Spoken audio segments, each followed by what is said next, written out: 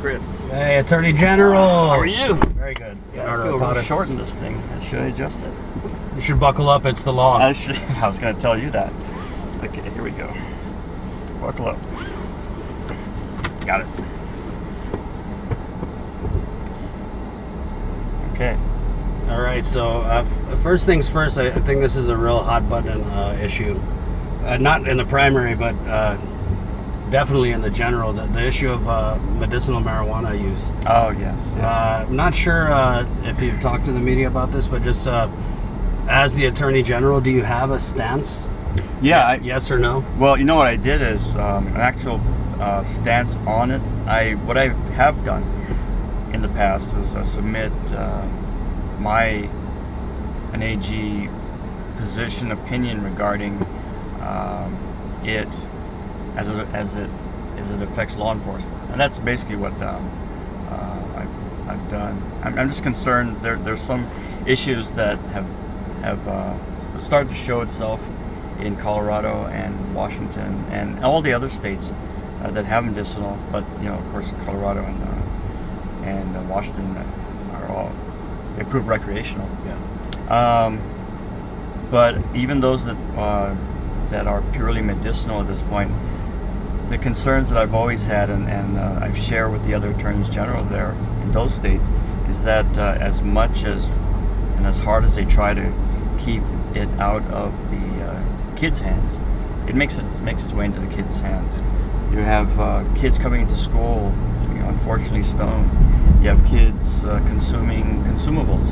You know, they, they try to make it um, as palatable as possible, which unfortunately also makes it easy for kids to to get at. And you're, Um, you're of course talking about the consumables in terms of the chocolates, the marijuana candies, the brownies and uh, well, we've had brownies for many years. Yeah. So, but, but you know the, the candies and uh, they I think there's they have lollipops and things like that. Do, so you, do you think though that that's an issue uh, along the same lines as prescription medicine, where let's say uh, grandma hurts her back, she gets prescribed Percocet, and then uh, the grandchild or the child uh, goes in the medicine cabinet and, and gets the Percocet and is popping pills. You, you think that medicinal marijuana it can would need to be regulated in the same ways as prescription drugs? But even with that regulation, they're still going to have cases where it fall through the cracks, and you have kids, like you said, getting high off uh, mom or dad's stash. yeah, yeah. I mean that that's a concern that uh, as attorneys general we do have, and, and I have it's a concern I've had. I have, and it's and it's the abuse of any legal substance, any legal, you know, alcohol is legal. You know, you have to be a certain age to, to get it, and, uh, and so forth.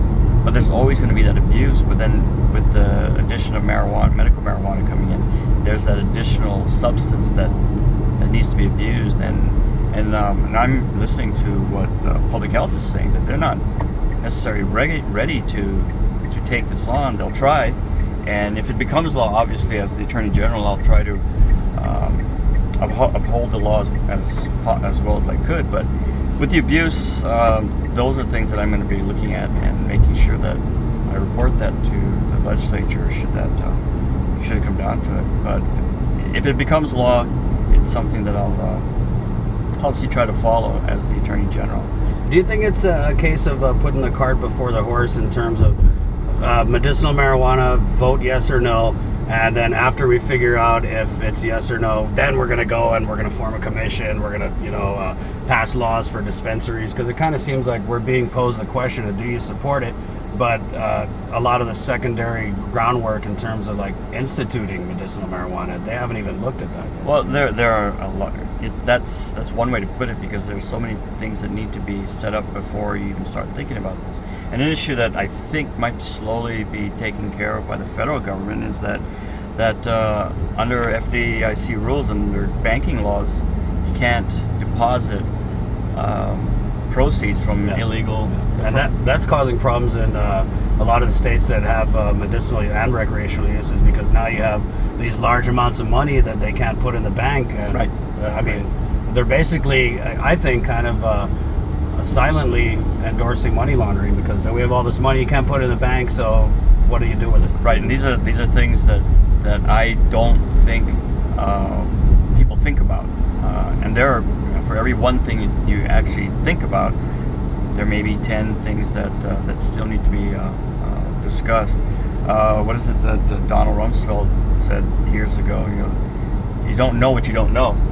You know, and, and until you know, you can't address the problem. And so, I mean, I'm hoping that if there is if there is legislation that it uh, deals with strictly the medical portion of it, because there are uh, the substances, the actual um, uh, substances that they can take out of the smoking uh, smoking version, because even the medical doctors are concerned that the Everybody's smoked concerned. marijuana. Yeah. Smoked marijuana is really not the best avenue. I mean, if you take a syringe that has great medicine, but if if you, if you uh, have a, um, a needle that is dirty or blocked, um, holes in the side, and you're not going to get the, the, the full impact of that medication.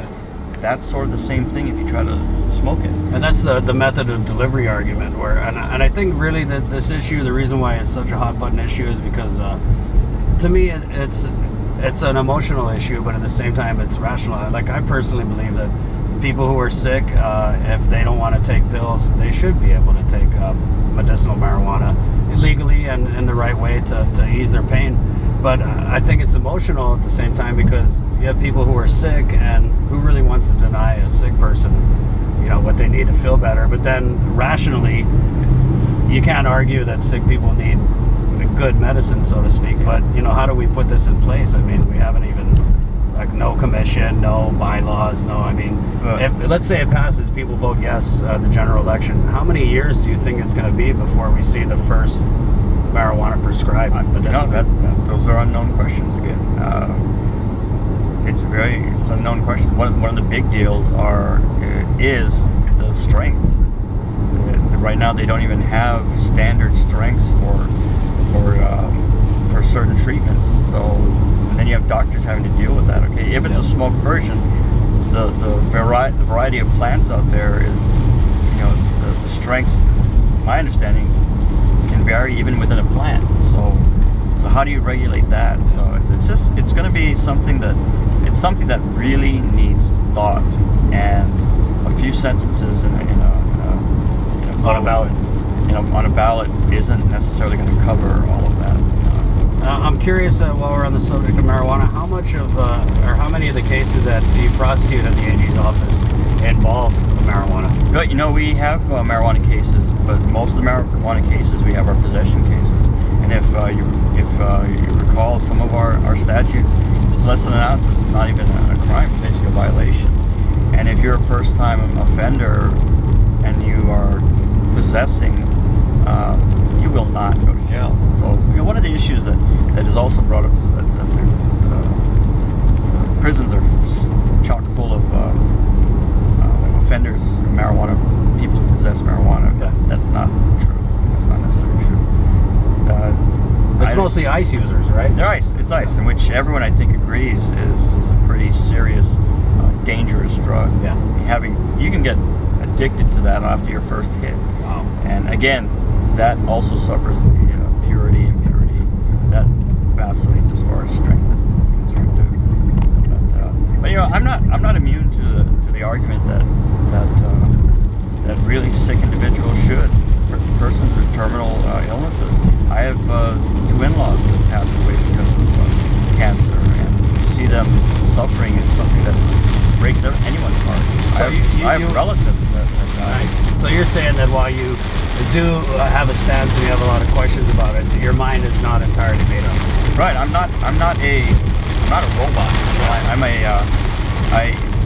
Even though I'm the attorney general, even though I, I prosecute crimes, I try to follow the law. I still have that.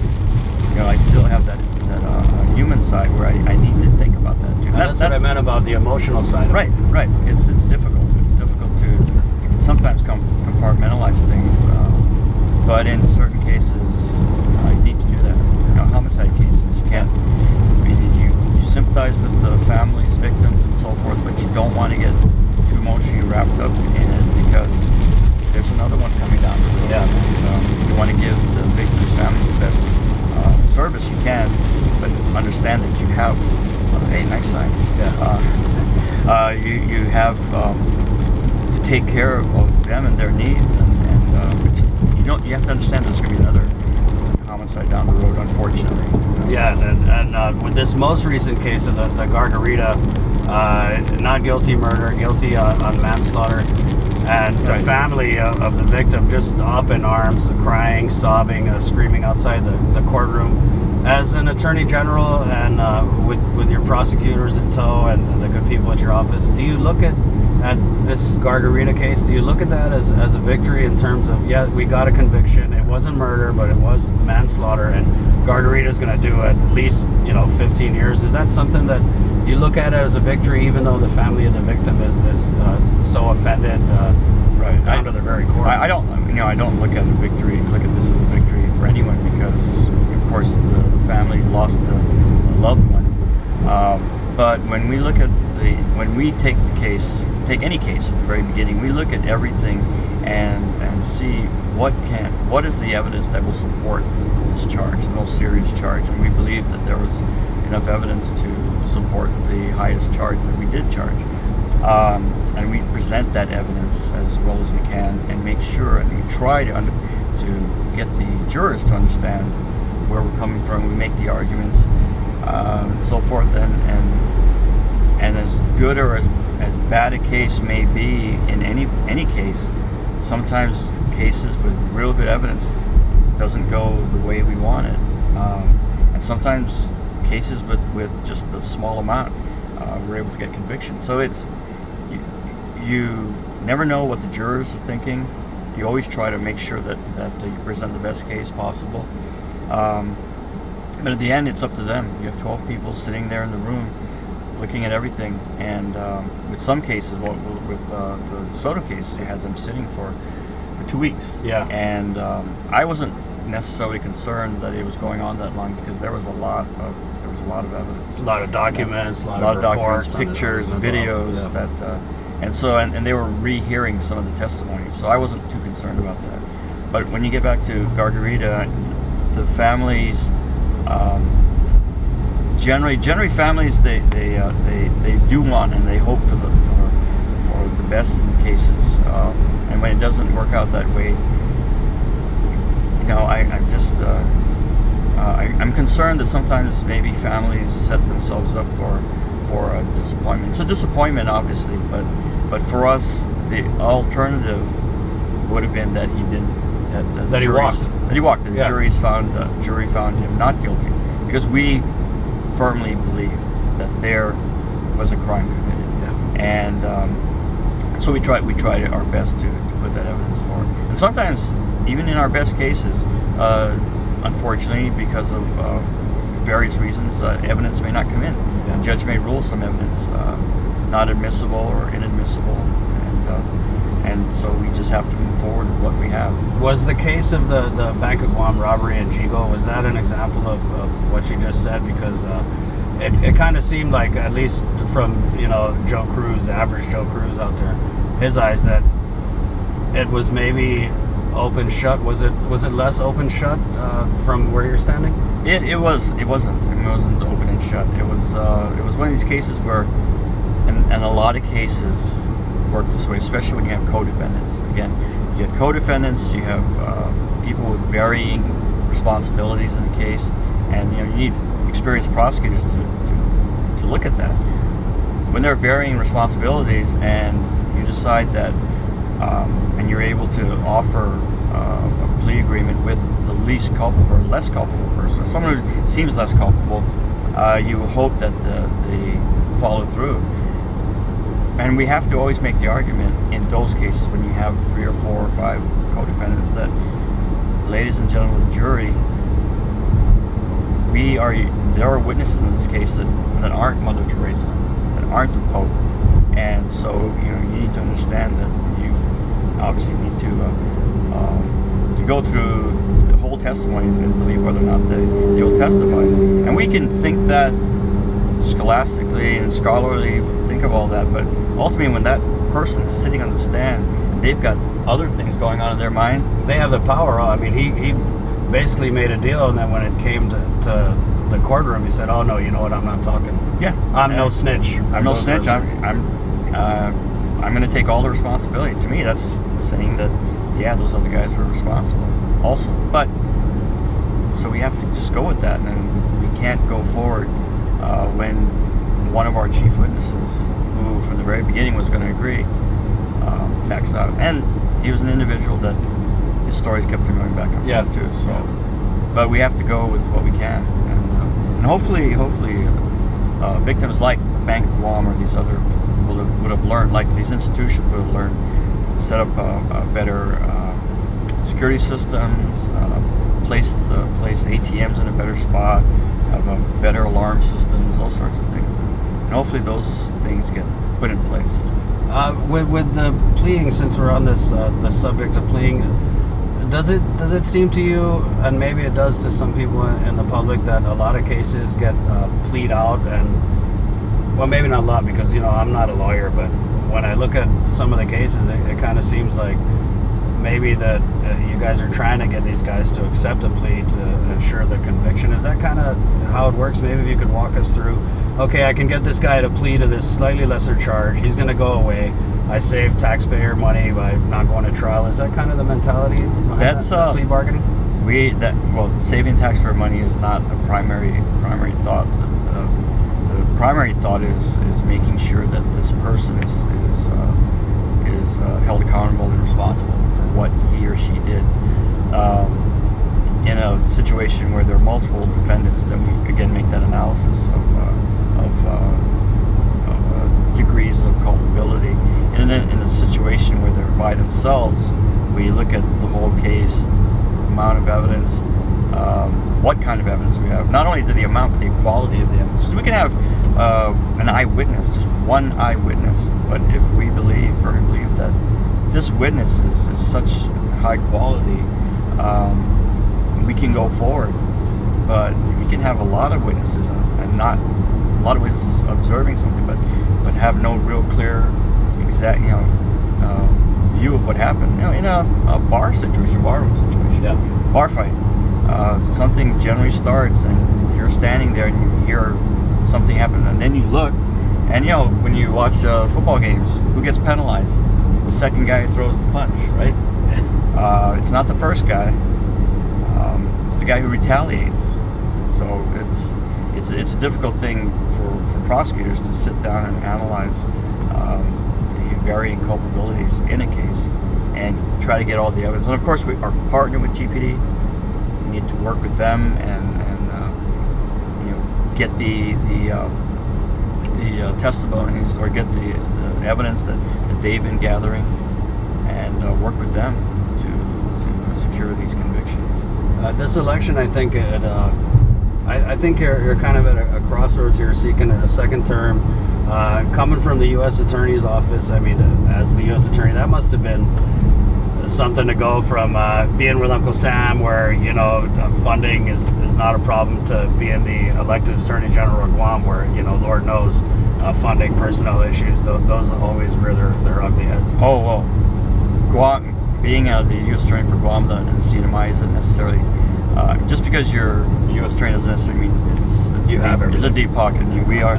It's relative. You know, we were the furthest out, so it's I so see. we we have to, to scream the loudest and uh, make the noise to, to get whatever funding we needed. Yeah, and we, we were subject to uh, some of the hiring restrictions back in uh, the early uh, early part of the or about 20, 2004 or 5 The four, five, six, when when they were um, right when they were the, the furloughs and so forth. We were we were stuck with that. Travel, you know, travel went down, um, and then so it was just down to essential essential travel.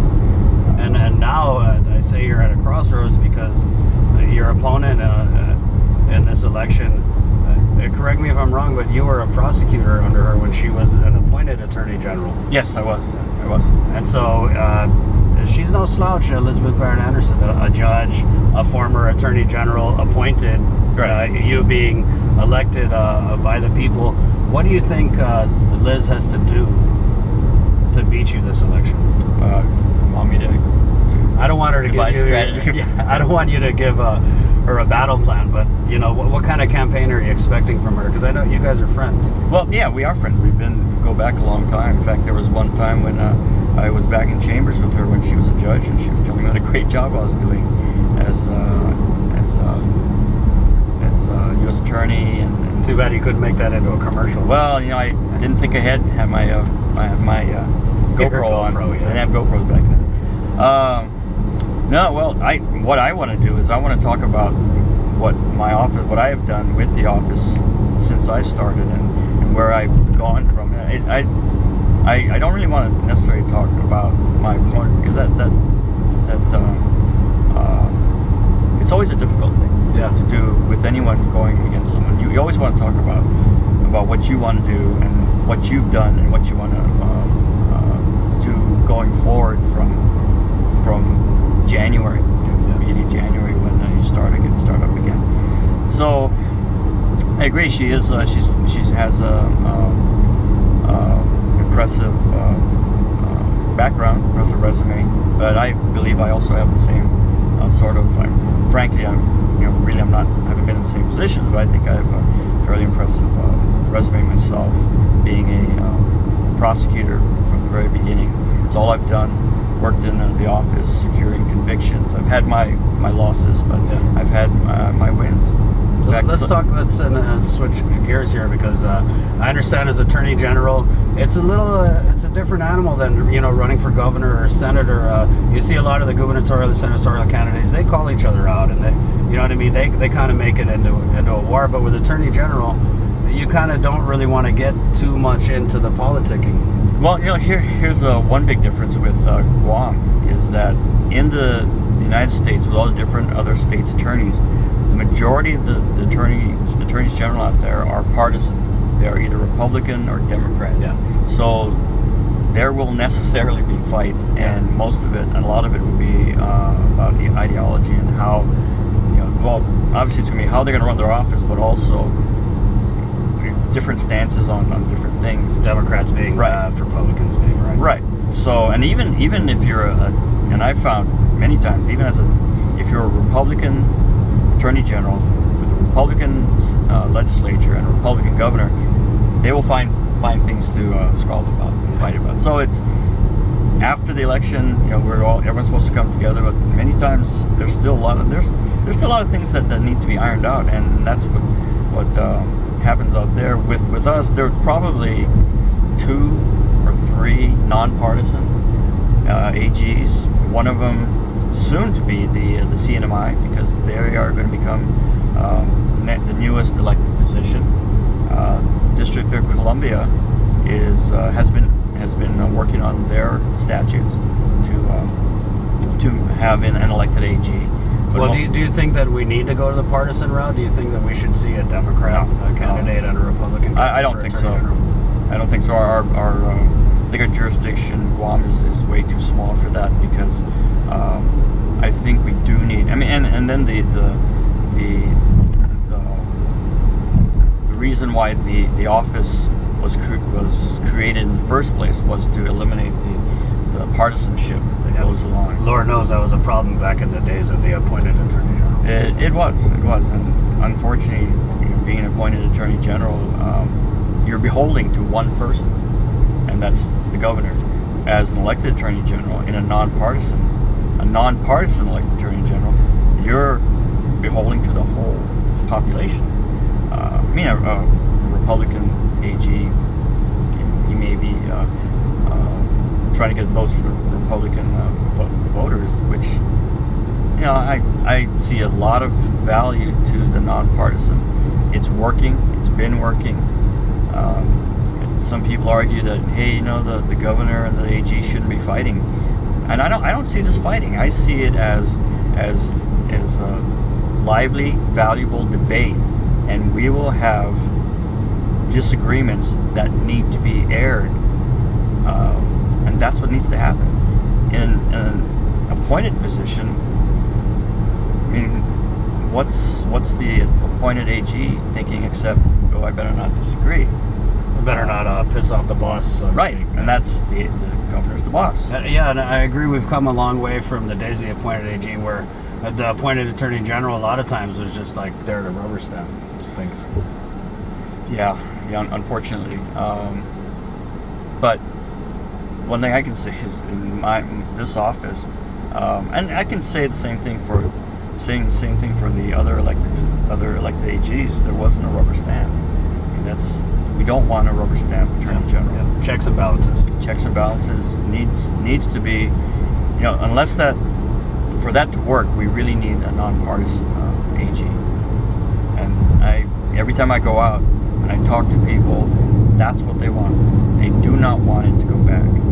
Uh, and said the legislature had floated that out a while back, and um, I think pretty soundly uh, was they just said no, we need to. Uh, we've only got a, a couple minutes here. So uh, earlier you were talking about having had your losses and, and your wins. What do you think was uh, your biggest loss here in your, your first term as uh, elected attorney general? No biggest loss. Um, in what terms of what? Just in, in general, whether it be a case or uh, maybe just a battle that you guys fought as an office. Yeah, that's I don't know. That's difficult. Uh, I think uh, when you think about a loss, Mean, I don't know. It, it's difficult for me to say because every time there's a loss, uh, people assume that that the other side, the, the side that lost, didn't do their best. And my feeling is loss or wins, especially losses. I think in my case, my office's case, I think if we lost anything, it's not it's not without trying. We have you know, tried legally and to do the best we could for the people, and that, that's. I mean, it's hard for me to, to to, say a winner or loss because I think that every time we've tried and wasn't um, successful in either the courts or the legislature or with the administration, I think that we, we had tried to do our best in whatever that issue was. Would it be easier to say what your biggest uh, victory was the last four years? Well, I, th- I think what uh, we've done, and again, I think it's because of the, the hard work of the office, is that we've been able to, from the very beginning, we reestablished that separation of powers concept. From the very first uh, part of my term, we had several uh, opinions that established that separation of powers, keeping the legislature separate from the, from the judiciary, from the executive. I think that's that's one big thing that I think that we've been able to uh, accomplish. I think we've been able to accomplish uh, things in the, in the from the civil side. We've been able to to to bring try to get more uh, better laws done as far as uh, um, procurement is concerned. Child support, child support um, has, and we've talked about this Yeah. in your show. We've increased collections, we've increased disbursements, we're making sure that the children receive the money. We have our issues. Uh, there's some issues that we are working out, but we listen to the, the problems and we're trying to we try to fix them. But overall, I think with child support, um, it's gotten a whole lot better than it was in, in the past. And that staff that I have back there, real dedicated. And we're closing out August as a child support enforcement Right, month. And um, we've, um, when we did our outreaches, we talked about we brought more people in, and uh, again, disbursements. We're, we're giving out a million dollars, over a million dollars a month, Wow. child support. And I don't know how many um, agencies on this island can say they they've done that. So you, you put some teeth in the, the child support. uh, Right, right, and it helps that uh, we we have the, the 4D program of the federal uh, the federal government because we're able to to, um, to network with our sister agencies or other agencies out there uh, because that way we're able to enforce um, each other's each other's uh, orders out there. Criminally, um, I can't say enough about my prosecution team. They've been just hitting it every single day. We've had trials when we're doing the Soto, People don't know that at the time this one trial that kind of captured everyone's attention, we still had four trials a week going on, and we were getting convictions while this trial was going on too. We had attorneys that were stepping up. They would be doing their closing arguments in the morning and then then start off uh, jury selection in the afternoon that same day. So the co- the camaraderie and the esprit de corps in that division is is, real good. Uh, last uh, what is it? Uh, so last year sometime, our prosecution team put together uh, a perimeter team. So we ran uh, the perimeter relay. I was I was one of the legs, uh, two of the legs, but we had guys out there who couldn't you know run a mile or two me, joining this team, and suffered for a good five six hours on the road and uh, enjoyed every minute of it. So, now we're, we're starting to see a little uh, more of uh, Leonardo Rapadas, the person. I mean, Oh. you, you know, prosecutor, uh, U.S. attorney, uh, attorney general of Guam. Uh, you've held so many public positions, and, and I feel, and maybe the average person out there feels that we don't really know you. Tell us a little bit about yourself as, as a person.